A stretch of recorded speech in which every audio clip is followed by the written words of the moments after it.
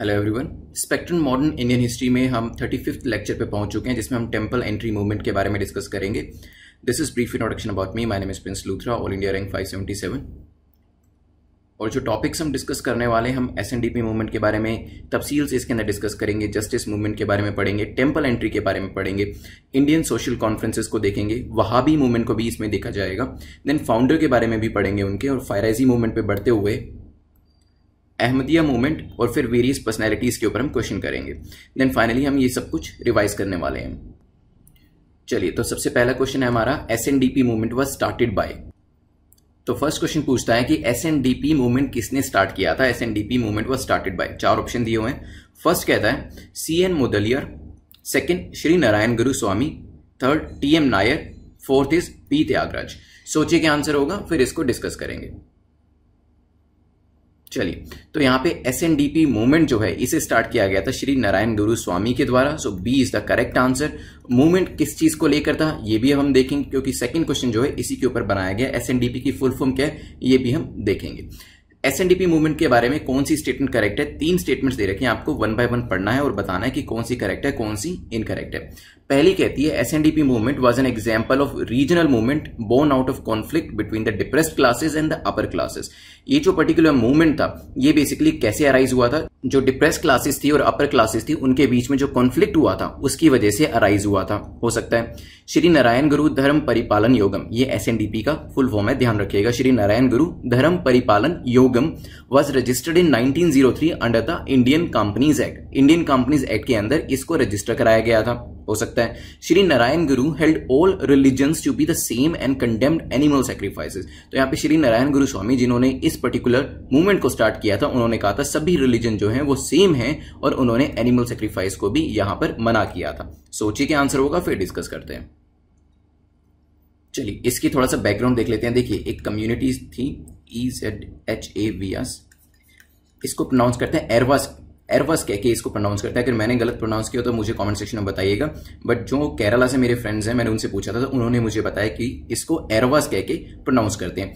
This was the single largest caste group Kerala के अंदर। 26 percent population जो थी वो एरवस की थी। और यहाँ पे टोटल पॉपुलेशन का 26 प्रतिशत होने के बावजूद भी डिस्क्रिमिनेशन जो था, वो उनके साथ किया जाता था। तो यहाँ पे उनको पूजा करने की जो अनुमति थी, वो नहीं मिली हुई थी। और यहाँ पे जो हमारे श्री नारायण गुरु हैं, वो इसी कम्युनिटी से आते थे। तो उन्होंने क्या किया? उन्होंने एक स्टोन उठाया, ठीक है, उसको एस्टेब्लिश किया और उसकी पूजा करनी शुरू कर दी। और एक तरीके से जो आइडल वर्शिप होता है, जो अभी तक सो कोल्ड अपर कास्ट के हाथों में ही था उसको स्टार्ट कर दिया एयरवास के लिए भी। और ये भी कहा कि देखिए, जो आइडल वर्शिप है that can not be the monopoly of higher caste only तो किसी भी कास्ट कम्युनिटी से कोई आता है तो वो आइडल वर्शिप कर सकता है। ऐसा यहाँ पे एक इनिशिएटिव जो था, वो लिया गया। तो एस मूवमेंट इसी वजह से राइज हुआ था। यस डिप्रेस क्लासेस और अपर कास्ट के बीच में जो एक कॉन्फ्लिक्ट था, उसको लेकर इसे स्टार्ट किया गया था। एस जो था एस कंपनीज़ एक्ट के अंदर रजिस्टर भी इसको किया गया था, उन्नीस सौ तीन के अंदर। ये स्टेटमेंट भी हमारी ठीक है। और यहाँ पे जो इनको चलाने वाले थे स्टार्ट करने वाले श्री नारायण गुरु थे, उन्होंने कहा कि देखिए, सभी रिलीजन जो है, वो बराबर हैं, वो समान है, और उन्होंने एनिमल सेक्रीफाइस को भी कंडेम किया था। तीनों स्टेटमेंट्स हमारी ठीक होती हैं आंसर हो जाएगा सी ये ध्यान रखिएगा एरवा कम्युनिटी से वो आते थे, और 26 परसेंट जो पूरी पॉपुलेशन की, वहाँ की केरला की थी, वो एरवा कम्युनिटीज थी, और आइडल वर्शिप जो था, उसको यहाँ पे स्टार्ट करने का इनिशिएटिव लिया गया था। चलते हैं नेक्स्ट क्वेश्चन के ऊपर which is question number three तीन स्टेटमेंट्स दे रखी है और आपसे पूछा है कि कौन सी स्टेटमेंट करेक्ट है, कौन सा कथन सही है, तीनों स्टेटमेंट्स को वन बाय वन देखते हैं।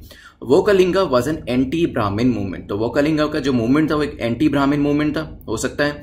Justice movement was started by Shri Narayana Guru justice movement भी श्री नारायण गुरु ने स्टार्ट किया था, हो सकता है। Self respect movement was started by E V Ramaswamy Naicker तो सेल्फ रिस्पेक्ट मूवमेंट जो था, वो स्टार्ट किया गया था ईवी रामास्वामी नाइकर जी के द्वारा। सोचिए क्या आंसर होगा, फिर डिस्कस करते हैं। चलिए तो सबसे पहले सेल्फ रिस्पेक्ट मूवमेंट के बारे में ही मैं आपको बताता हूँ। तो yes it was started by E V Ramaswamy Naicker यहाँ पे ब्राह्मणिकल ऑर्थोडॉक्सी ब्राह्मणिकल रिलीजन को यहाँ पे रिजेक्ट किया गया था इस मूवमेंट के द्वारा। तो तीसरी स्टेटमेंट जो है, वो हमारी करेक्ट हो जाती है। फ़र्स्ट को देखते हैं, क्या वोकलिंगा एक एंटी ब्राह्मण मूवमेंट था? तो यस पहली स्टेटमेंट भी हमारी ठीक हो जाती है। It was an anti Brahmin movement उस वक्त था क्या? देखिए, ब्राह्मण्स जो थे, उनकी काफ़ी डोमिनेशन थी, और ऐसा हमने पहले लास्ट लेक्चर में भी देखा था कि आर्य समाज में दयानंद जी ने भी कहा था कि कुछ ऐसे, सभी ब्राह्मण्स बुरे नहीं थे, कुछ ऐसे ब्राह्मण्स थे जिन्होंने वेरियस स्क्रिप्चर्स को तोड़ मरोड़ के प्रस्तुत किया, और इसी वजह से कुछ ऐसी कास्ट थी जिनका एक्सप्लोटेशन होना शुरू हो गया। तो यहाँ पे एंटी ब्राह्मण मूवमेंट जो चलाए गए वो कलिंगा के द्वारा, वो बिल्कुल स्टेटमेंट करेक्ट है।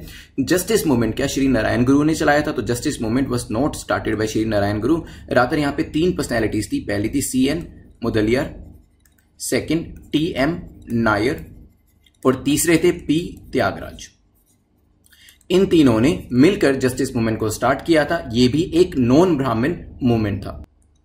इसका बेसिक पर्पस यही था कि किस तरीके से नॉन ब्राह्मण्स जो है, उनको जॉब्स मिल सके रिप्रेजेंटेशन मिल सके लेजिस्लेचर के अंदर। तो यहाँ पे सेकंड स्टेटमेंट इनकरेक्ट हो जाती है आंसर हमारा हो जाएगा।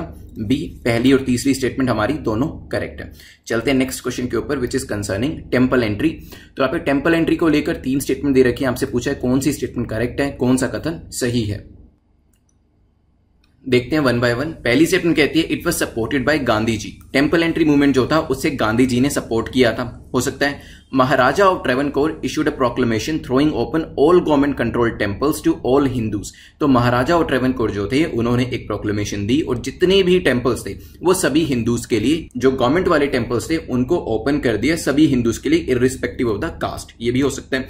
It was started by T K Madhavan जो टेंपल एंट्री मूवमेंट था, ये टी के माधवन जी के द्वारा स्टार्ट किया गया था। सोचिए क्या आंसर होगा, फिर देखते हैं इसको। चलिए तो यहाँ पे टेंपल एंट्री मूवमेंट जो है yes it was supported by Gandhi ji तो पहली स्टेटमेंट बिल्कुल ठीक हो जाती है, और यहाँ पे जो महाराजा ऑफ़ ट्रेवनकोर है, उन्होंने भी काफ़ी इंपॉर्टेंट रोल जो था, वो प्ले किया था, क्योंकि गवर्नमेंट सपोर्टेड जो टेम्पल्स थे, वो सभी हिंदूज के लिए खोल दिए गए थे। इसको स्टार्ट करने के लिए जो लीडरशिप रोल लिया था, वो लिया था टी के माधवन जी ने, और इसी वजह से तीसरी स्टेटमेंट भी हमारी करेक्ट हो जाती है। आंसर हमारा हो जाएगा डी क्योंकि तीनों स्टेटमेंट्स करेक्ट है। टी के माधवन जी के बारे में मैं आपको बताऊँ तो he was a prominent social reformer अपने टाइम के काफ़ी बड़े सोशल रिफॉर्मर हुआ करते थे। और टी के माधवन जी एडिटर भी थे किसके? एक यहाँ पे देश अभिमानी करके था। इसके अंदर एडिटरशिप का इन्होंने रोल भी प्ले किया था। अगर ट्रेवनकोर की बात करी जाए तो यहाँ पे खासतौर पे जो नॉर्दर्न रीजन था ट्रेवन कोर का। वहाँ पर ये टेंपल एंट्री मूवमेंट का एजिटेशन सबसे ज़्यादा देखा गया था। चलते हैं नेक्स्ट क्वेश्चन के ऊपर which is question number fifth question number fifth बात करता है इंडियन सोशल कॉन्फ्रेंस के बारे में पूछा गया। इंडियन सोशल कॉन्फ्रेंस किसने फाउंड करी थी? चार नाम दिए गए Radhakant Dev M G Ranade Shri Narayan Guru T K Madhavan. सोचिए क्या आंसर होगा, फिर डिस्कस करते हैं।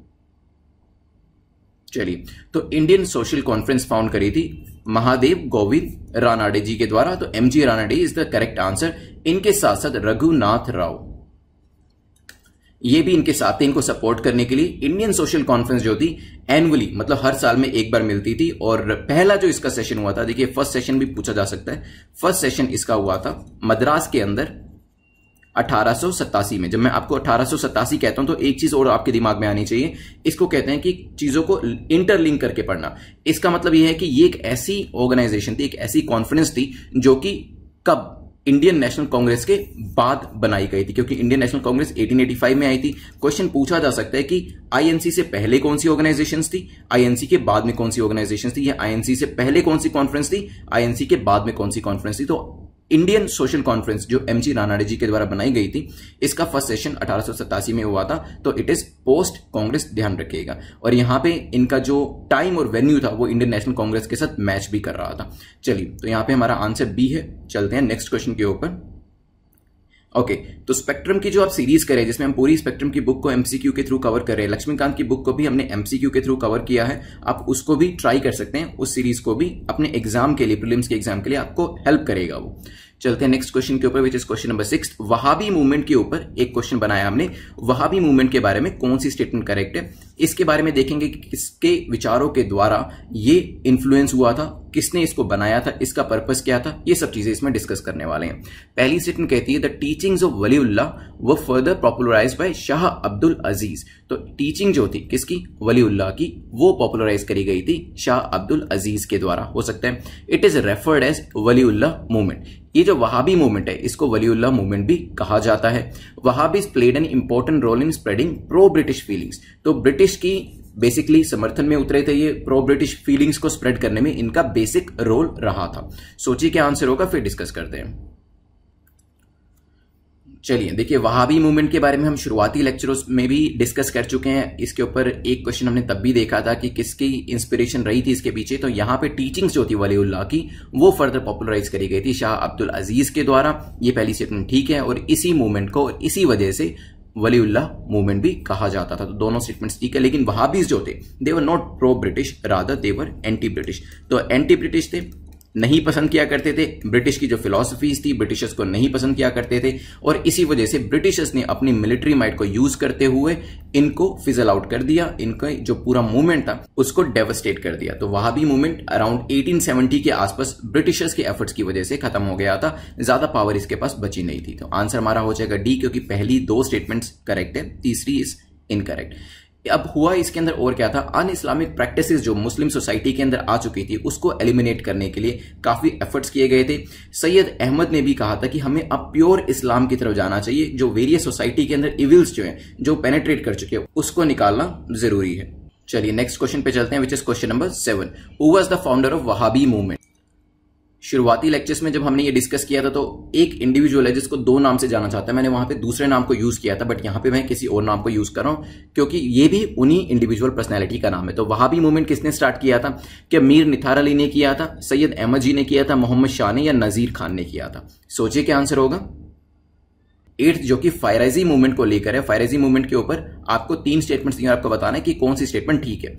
पहली कहती है it was founded by Haji Shariatullah in 1818 तो इसे हाजी शरीयत उल्ला जी ने 1818 में फाउंड किया था। The Faraizis organised paramilitary force armed with clubs to fight the zamindars over all Hindus जो फैराजीज थे, इन्होंने एक पैरामिलिट्री फोर्स जो थी, उसे ऑर्गेनाइज किया था ताकि जो जमींदास जो कि सारे के सारे हिंदूज थे, उनके साथ फाइट करी जा सके। हो सकता है the organisation even establish its own law courts तो इस ऑर्गेनाइजेशन ने अपनी कोर्ट्स जो थी, वो भी एस्टैब्लिश करी थी। सोचिए क्या आंसर होगा? चलिए तो फायरेजी मूवमेंट जो है, इसके फाउंडर का नाम जो दिया है 1818 में हाजी शरीयतुल्ला जी ने इसे फाउंड किया था तो बिल्कुल स्टेटमेंट ठीक है, अपने आप में भी एक ही एमसीक्यू बन के आ सकता है, आपसे पूछा जा सकता है। तो यहाँ पे नेक्स्ट जो है, क्या इनकी पैरामिलिट्री फोर्स थी? बिल्कुल सही है पैरामिलिट्री फोर्स इनकी थी सेकंड स्टेटमेंट बताऊँगा सही है कि नहीं है बट पहले इतना जान लीजिए कि इनकी अपनी पैरामिलिट्री फोर्स थी और इनकी अपनी लॉ कोर्ट्स भी थी। लेकिन, इन्होंने जो फाइट करी थी, इनका जो बेसिक पर्पज था, जो एक्सप्लोटेटिव जमींदार थे, उनसे इनका बेसिक पर्पज था फाइट करने का, इसमें हिंदूज भी थे और इसमें मुस्लिम्स भी थे। ठीक है? लेकिन ज़्यादातर जो थे वो हिंदूज थे। तो यहाँ पे जो वर्ड दिया है ऑल हिंदूज ऑल नहीं थे बट मोस्टली हिंदूज थे, लेकिन मुस्लिम्स भी थे जो जमींदार एक्सप्लोटेटिव थे, और इसी की वजह से पैरामिलिट्री फोर्स का कॉन्फ्लिक्ट हुआ था उनके साथ। तो फायराइजी मूवमेंट भी आपको समझ में आ गया क्यों किया गया था बेसिकली जमींदास, और जमींदास के लिए जो लोग काम करते थे, उनके बीच का ये एक कॉन्फ्लिक्ट था। इन्होंने अपनी लो कोर्ट्स बनाई, अपनी पैरामिलिट्री फोर्सेस बनाई, इनके लीडर भी थे, जिनका नाम हाजी शरीयत उल्ला था। तो हमारा आंसर हो जाएगा ए क्योंकि पहली और तीसरी स्टेटमेंट हमारी करेक्ट है। इसके अलावा कुछ और चीज़ें देख लेते हैं। यहाँ पे फरादीज जो थे, इन्होंने अपनी पैरामिलिट्री फोर्स तो बना ली थी कोर्ट्स भी अपनी बना ली थी, और यहाँ पे जो जमींदार थे, उनका जो अपोजिशन था, वो भी करना शुरू कर दिया था। साथ में लैंडलॉर्ड्स को ये पसंद नहीं किया करते थे, जो इंडिगो प्लांटर्स थे, वो भी इनका एक्सप्लोटेशन करते थे, उनको भी ये पसंद नहीं किया करते थे। और यहाँ पे दादू मियाँ, जो कि एक इंपॉर्टेंट पर्सनैलिटी निकल के आए थे, इस मूवमेंट के अंदर उन्होंने कहा था कि लोगों को रेंट पे नहीं करना चाहिए, क्योंकि बहुत ज़्यादा एक्सप्लोटेशन जो है, वो किया जा रहा है किसके द्वारा? लैंडलॉर्ड्स के द्वारा जमींदास के द्वारा प्लांटर्स के द्वारा। दादू मियाँ को इवेंचुअली अरेस्ट कर लिया गया और सेवरल टाइम इनको अरेस्ट किया गया 1847 के आसपास, और फाइनली उनके अरेस्ट के बाद ये जो पूरा का पूरा मूवमेंट था, वो वीक हो गया था। ठीक है? चलिए नेक्स्ट क्वेश्चन पे चलते हैं। Next question is question number ninth question number nine पूछता है which of the following statement or statements is or are correct about Ahmadiya movement Ahmadiya movement के बारे में कौन सी स्टेटमेंट ठीक है? तीन स्टेटमेंट दे रखी है।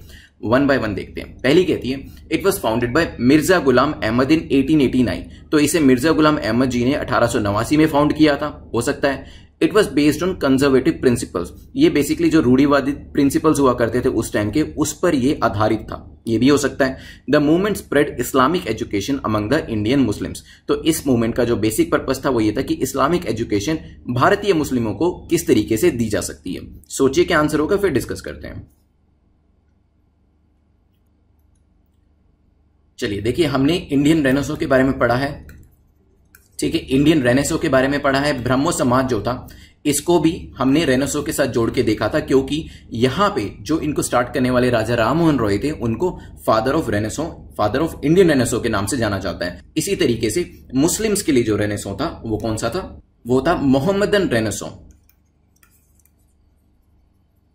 ठीक है तो जब रेनेसो की बात करी जाती है ना तो साइंटिफिक थॉट की बात करी जाती है। लोग पीछे मुड़ के नहीं देखते हैं। रूढ़ीवादी प्रिंसिपल्स की बात नहीं करते हैं। कंजर्वेटिव प्रिंसिपल्स की बात नहीं करते हैं। वो लिबरल ह्यूमैनिटी की बात करते हैं। जिहाद को अपोज करते हैं। यूनिवर्सल रिलीजन की बात करते हैं। और यहाँ पे अहमदिया मूवमेंट के अंदर भी यही किया गया। ऑन द लाइन्स ऑफ़ ब्रह्म समाज प्रिंसिपल ऑफ़ यूनिवर्सल रिलीजन के बारे में बात करी गई। ह्यूमैनिटी के बारे में बात करी गई। जिहाद को अपोज किया गया। तो यहाँ पे it was founded by Mirza Ghulam Ahmad in 1889 बिल्कुल स्टेटमेंट ठीक है। कंजर्वेटिव प्रिंसिपल की बजाय यहाँ पे लिबरल प्रिंसिपल को बढ़ावा दिया गया, उसके बारे में बात करी गई। Western education western liberal education की बात करी गई कि इंडियन मुस्लिम्स को वेस्टर्न लिबरल एजुकेशन जो है, वो दी जानी चाहिए। तो आंसर हमारा हो जाएगा ए क्योंकि पहली स्टेटमेंट करेक्ट है, बाकी सेकंड थर्ड हमारी इनकरेक्ट है। तो देख लीजिए, मिर्ज़ा गुलाम जो थे, उन्होंने ये पर्टिकुलर मूवमेंट चलाया था लिबरल प्रिंसिपल्स की बात करी गई थी वेस्टर्न लिबरल एजुकेशन की बात करी गई थी। चलते हैं आज के लास्ट क्वेश्चन के ऊपर। पूछा गया कि किस पर्सनैलिटी को हम यहाँ पर रेफर कर रहे हैं। तीन स्टेटमेंट्स दे रखी हैं। पहली कहती है he wanted to reconcile western scientific education with the teachings of Quran वो चाहते थे कि जो कुरान है और जो वेस्टर्न साइंटिफिक एजुकेशन है, इन दोनों की टीचिंग्स जो है, वो रिकनसाइल करनी चाहिए, उन दोनों को मिला के जो, उन दोनों के ऐसे प्रिंसिपल्स हैं जो एक दूसरे को सपोर्ट करते हैं। वो जो है एजुकेशन मुस्लिम्स को देनी चाहिए। He also held the Quran to be the ultimate authority उनके हिसाब से कुरान जो थी, वो एक अल्टीमेट अथॉरिटी थी। He said that religion should be adaptable with time else it would become fossilise तो यहाँ पे रिलीजन जो है, उसको टाइम के हिसाब से अडेप्ट होना चाहिए चेंज होना चाहिए अदरवाइज़ वो फॉसिलाइज हो जाएगा। जैसे आपको पता फॉसिल्स होते हैं, जो ज़मीन के नीचे आपको मिलते हैं, वो बेसिकली डेड आपके प्लांट्स होते हैं डेड आपके पॉलिप्स होते हैं। तो उस तरीके से रिलीजन भी, जो रिलीजन है, उसकी एग्जिस्टेंस भी मुश्किल में आ जाएगी अगर वो अपने आप को अडेप्ट नहीं करता है। तो ये तीन स्टेटमेंट्स किस पर्टिकुलर पर्सनैलिटी का थॉट प्रोसेस आपको दिखाती है? क्या मोहम्मद खान जी का दिखाती है महमूद उल हसन का, शिबली नुमानी का, सैयद अहमद खान का? सोचिए क्या आंसर होगा। चलिए तो यहाँ पे आंसर हमारा है डी सैयद अहमद खान का जो थॉट प्रोसेस है, वो तीनों ही स्टेटमेंट्स जो है वो बताती हैं, तीनों स्टेटमेंट्स के हिसाब से सैयद अहमद खान जो थे, वो मुस्लिम्स के लिए चाहते थे कि पहला जो उनका फोकस होना चाहिए, वो एजुकेशन पे होना चाहिए एजुकेशन के बाद जो फोकस होना चाहिए, वो जॉब के ऊपर होना चाहिए। उनको अपने जो हिंदू काउंटर पार्ट है, जो कि एजुकेशन और जॉब के मामले में काफ़ी एडवांस है, उनके साथ वहाँ पर कैचअप उनको करना पड़ेगा। पॉलिटिकल एक्टिविटी के लिए उन्होंने फ़िलहाल के लिए मना किया था। He also struggle to bring about an improvement in the position of women तो एजुकेशन जॉब के अलावा उन्होंने वीमेन की पोजिशन को भी बेटर करने के लिए काफ़ी यहाँ पर कॉन्ट्रीब्यूशन दिया था। पर्दा सिस्टम को उन्होंने मना किया था। पॉलीगमी को उन्होंने एडवोकेट किया था और कहा था कि जो डाइवोर्स है, वो भी इजिली प्रोवाइड किया जाना चाहिए। तो सैयद अहमद खान जो थे, उनका थॉट प्रोसेस काफ़ी प्रोग्रेसिव था। जो चीज़ें हम आज बात करते हैं, वो उस टाइम पर बात किया कर रहे थे। तो ध्यान रखिएगा। दस क्वेश्चन हमारे कंप्लीट होते हैं। यहाँ पे अब हम दो मिनट में रिवीजन करेंगे इसकी। चलिए, शुरुआत करी थी एस एन डीपी मूवमेंट से हमने श्री नारायण गुरु, धर्म परिपालन, योगम स्टार्ट किसने किया था? श्री नारायण गुरु, स्वामी जी ने किया था इसको। यहाँ पर इनको कंपनीज़ एक्ट के अंदर रजिस्टर किया गया था डिप्रेस क्लासेस और अपर कास्ट के बीच में जो कॉन्फ्लिक्ट रहता था एयरवास कम्युनिटी का मैंने आपको पूरा समझाया था ये ये सारा इसको लेकर था। रिलीजन जो होगा, वो सबके लिए बराबर होगा एनिमल सेक्रीफाइस नहीं होगा, ऐसा भी इसमें कहा गया था। वो कलिंगस जो थे एंटी ब्राह्मण मूवमेंट थे जस्टिस मूवमेंट स्टार्ट किया था, तीन पर्सनैलिटी से मुदलियार जी ने टीएम नायर पी त्यागराज वो चाहते थे कि यहाँ पर जॉब्स जो है नॉन ब्राह्मण्स को भी मिले, और जो लेजिस्लेचर है, वहाँ पर भी सीट्स मिले। Self respect movement EV Ramaswamy Naicker ji ने स्टार्ट किया था। टेंपल एंट्री मूवमेंट के बारे में देखा था, गांधी जी ने सपोर्ट किया था। महाराजा और ट्रेवनकोर जो थे, उन्होंने भी जितने भी गवर्नमेंट सपोर्टेड यहाँ पे मंदिर थे, वो ओपन कर दिए थे and it was started by T K Madhavan तो ये भी ध्यान रखिएगा। फिर हमने इंडियन सोशल कॉन्फ्रेंस अठारह में मद्रास में पहला सेशन हुआ था। एम जी रानाडे जी ने रघुनाथ राव जी के साथ मिलकर इसे स्टार्ट किया था, ये भी ध्यान रखिएगा। इसके बाद next question question number six Wahabi के बारे में देखा था। वहाबी मूवमेंट जो था, वलीउल्लाह मूवमेंट भी इसे कहा जाता है और ये एक एंटी ब्रिटिश मूवमेंट था, जिसे फाइनली ब्रिटिशर्स ने अपनी शक्ति को यूज़ करते हुए खत्म किया था। फिर इसमें, फिर हमने देखा था फायराजी मूवमेंट के बारे में, अपनी इनकी कोर्ट्स थी, अपनी पैरामिलिट्री फोर्स थी जमींदार इंडिगो प्लांटर्स लैंड के अगेंस्ट में ये स्टार्ट किया गया था। ज़्यादातर जो ये जमींदार थे हिंदूज थे, लेकिन इसमें मुस्लिम्स भी साथ में इन्वॉल्व थे। फिर हमने देखा था फायराजी मूवमेंट के बारे में, इन्होंने दादू मियाँ जो थे, उन्होंने कहा था कि रेंट नहीं पे करना चाहिए फाइनली उनको अरेस्ट किया गया और जो मूवमेंट था पूरा वीक हो गया था। अहमदिया मूवमेंट के बारे में देखा था, मिर्ज़ा गुलाम अहमद जी ने अठारह में स्टार्ट किया था। लेकिन ये जो मूवमेंट था, काफ़ी लिबरल प्रिंसिपल पे बेस्ड था लिबरल प्रिंसिपल पे आधारित था। वेस्टर्न लिबरल एजुकेशन के बारे में बात करी गई थी। फिर हमने सैयद अहमद खान के बारे में बात करी थी, कुरान के बारे में बात करते थे, उनको अल्टीमेट अथॉरिटी मानते थे, लेकिन वेस्टर्न साइंटिफिक एजुकेशन को भी बढ़ावा देने की बात करते थे और कहते थे कि रिलीजन जो है, उसको अडेप्ट करना चाहिए एज पर टाइम और यहाँ पे विमेन एजुकेशन की बात करी, कहा कि मुस्लिम्स को एजुकेशन लेनी चाहिए जॉब लेनी चाहिए पॉलिटिकल एक्टिविटीज़ में पार्टिसिपेट नहीं करना चाहिए। और साथ में ही जो पर्दा सिस्टम है और पॉलीगमी है, उसका इन्होंने विरोध किया था। दस क्वेश्चन हमारे कंप्लीट होते हैं, इनमें से कोई भी क्वेश्चन आता है आई थिंक आप केपेबल इनफ है कि इसका आंसर कर पाएँगे। You can subscribe the YouTube channel ताकि वहाँ के करंट अफेयर्स आपसे मिस ना हो बिकॉज़ प्रिलिम्स के लिए current affairs are equally important thanks for watching have a nice day